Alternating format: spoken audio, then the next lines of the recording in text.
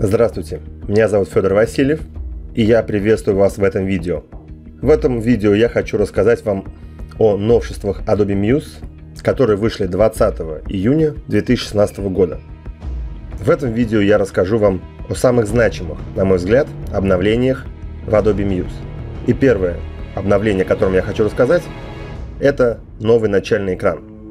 Начальный экран или экран приветствия в Adobe Muse обновлен – и теперь включает новые функциональные возможности, такие как меню «Создать» и «Открыть», общие для всех приложений Creative Cloud. На начальном экране отображаются недавние открытые файлы и сведения, например, имя файла, дата последнего открытия, размер файла и тип файла. Итак, если у вас до сих пор ваша программа Creative Cloud не показывает вот такую кнопку «Обновить» напротив вашей программы, то вы можете вот здесь кликнуть в правом верхнем углу данного окна Creative Cloud по шестереночке и нажать «Проверить обновление приложений». Кликайте сюда, идет подгрузка программы, крутится прелоудер, и у вас должно показаться напротив программы кнопка «Обновить». Кликайте «Обновить», и программа у вас обновится. Я программу уже обновил, и давайте откроем программу Adobe Muse. Первоначальное окно загрузки у нас тоже изменилось, вы это видите. Теперь вы видите сразу изначально у нас изменилось внешнее отображение наших проектов. И у нас есть вот здесь такие кнопочки отображения. Вы видите, да? Меняется список. Я открываю свой проект.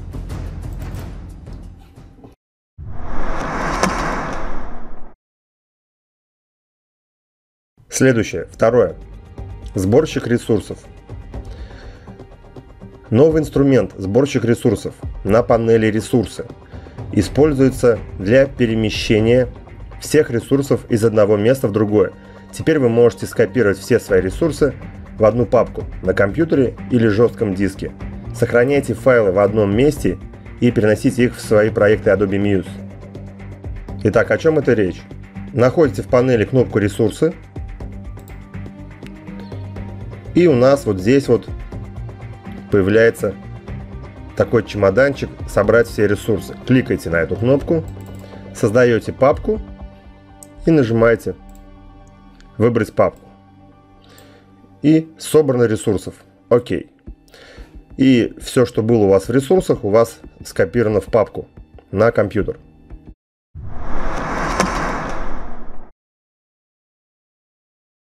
Третье. Инструмент эллипс.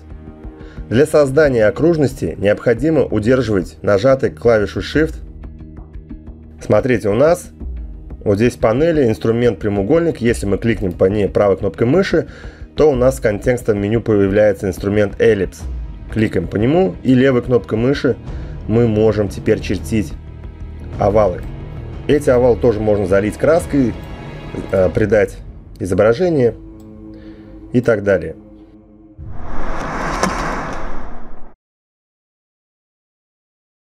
В новой версии Adobe Muse усовершенствован адаптивный дизайн. Первое. Адаптивные виджеты. Теперь виджеты YouTube и Vimeo имеют адаптивную ширину и высоту. Они будут масштабироваться пропорционально ширине браузера. Прямоугольные фреймы теперь стали адаптивными по высоте и ширине. Ну, это вообще, на мой взгляд, замечательно. Манипуляторы перемещения по вертикали – Новый манипулятор перемещения по вертикали в Adobe Muse позволяет легко перемещать объекты группой. Если в адаптивном макете Adobe Muse выбрать объект, на поле слева появятся манипуляторы перемещения по вертикали.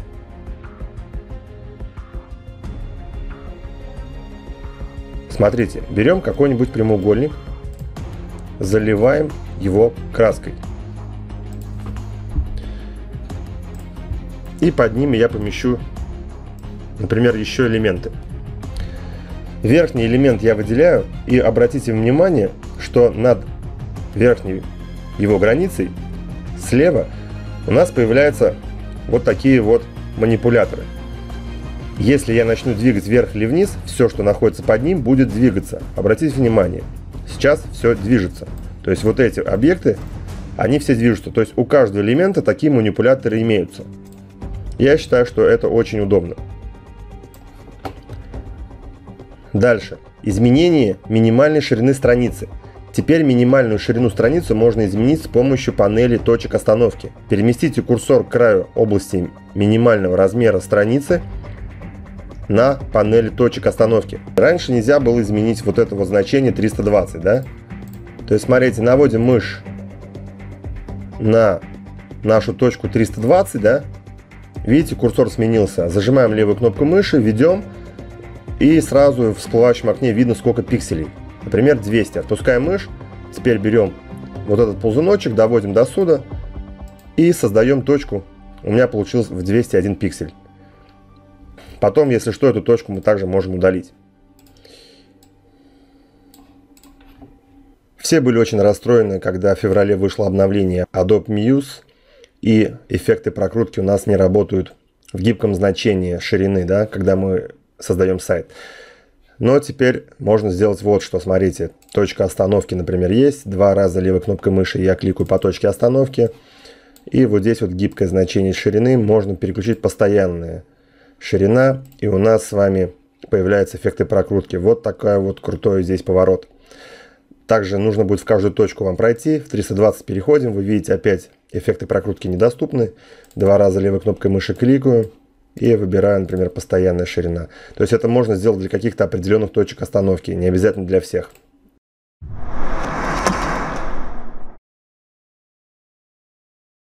Следующее. Улучшение вида, план. План в Adobe Muse теперь содержит вариант вертикальной компоновки. До предыдущего выпуска иерархию и структуру веб-сайта можно было просматривать только в горизонтальном представлении. Теперь можно просто щелкнуть на значок отображения карты сайта по вертикали и просматривать планы сложных сайтов в вертикальной ориентации. То есть смотрите, вот здесь вот появляется такой значок. Вот вы видите, да, их тут не было. Вот идет. Теперь вертикальный просмотр всех наших страниц. Или как было, да. То есть появились вот такие вот значки.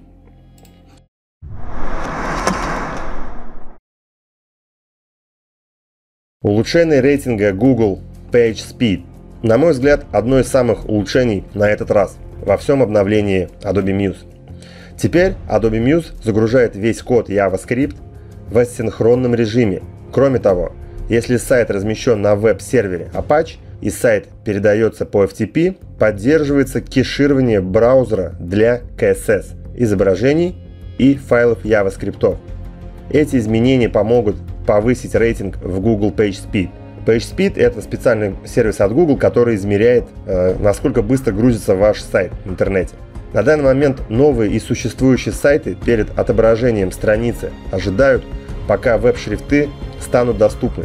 Теперь пользователи могут выбрать ускорять или нет загрузку страницы, используя шрифты с резервными символами. Так, чтобы это включить, переходим в файл и свойства сайта. Переходим на вкладку дополнительно и вот здесь вот ставим точку Мгновенная загрузка страницы благодаря резервным шрифтам. И ОК. Теперь сайт будет грузиться намного быстрее.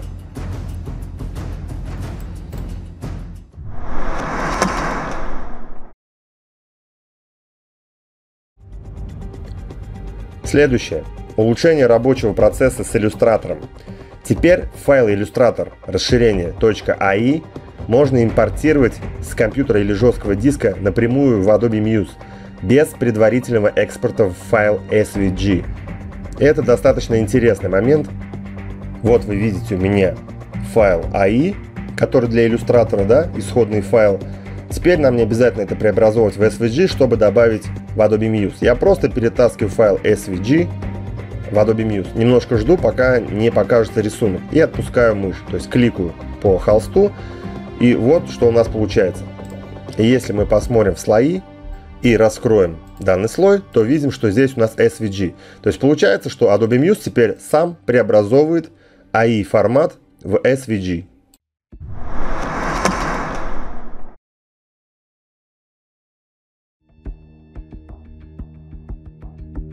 Улучшение фреймов изображений. Новый инструмент фрейм изображения – в Adobe Muse позволяет создавать прямоугольные и овальные фреймы. Теперь для сайта можно с легкостью создавать замещающие объекты изображений, щелкнув фрейм на панели инструменты и поместив фрейм в свой проект Adobe Muse.